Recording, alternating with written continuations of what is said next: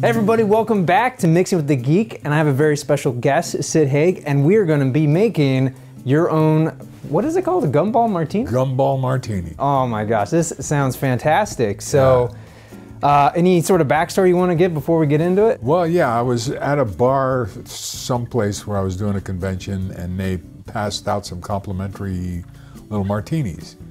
And I tasted it, and I said, hmm, if I tweaked it this way and I tweaked it that way, it might just turn out to be something that tastes like a white gumball.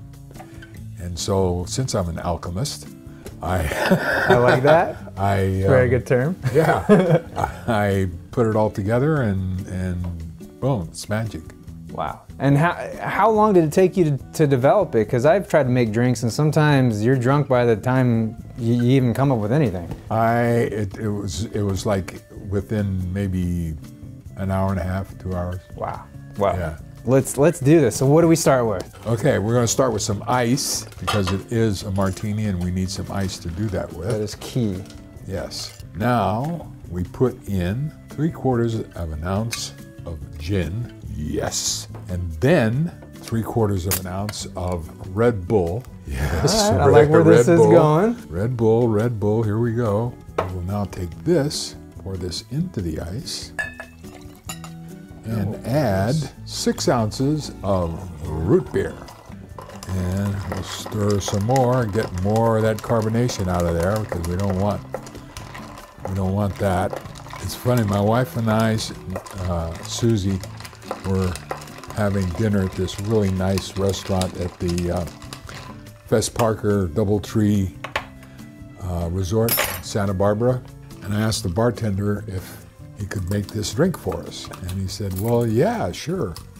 And uh, so he did, and um, had a quizzical look on his face. And then I saw him later take what was left over in the in the shaker, and he went. "Hmm." So I'm wondering if it went on the menu. And sir, there you are. Oh wow.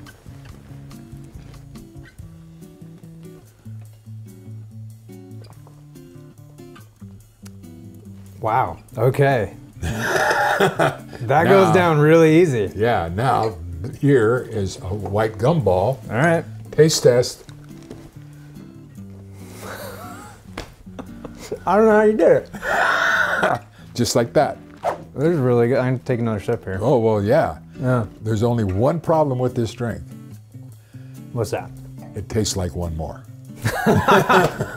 It does. Yeah. And then, boom, that's it. You're in trouble. Wow. I never would have thought of mixing Red Bull and root beer. Yeah. Neither And did gin. I until, until I just said, you know what? This is what I'm going to do.